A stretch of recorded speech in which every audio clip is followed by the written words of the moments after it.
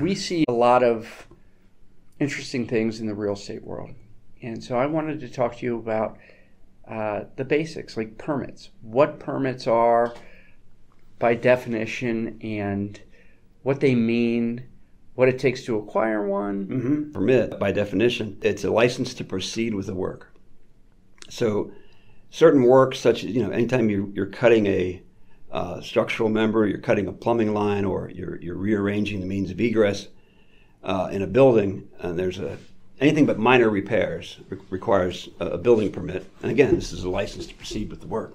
So it's law. It is yeah, it's, it's not it's, just a good idea. No, it's not, it's more it's like more than that. Not only is it city ordinance, it's also in the state of Ohio building code. So there's state rules that the Ohio Board of Building Standards has put out that the municipalities must must follow when they uh, are, are certified building department, which is what we have here.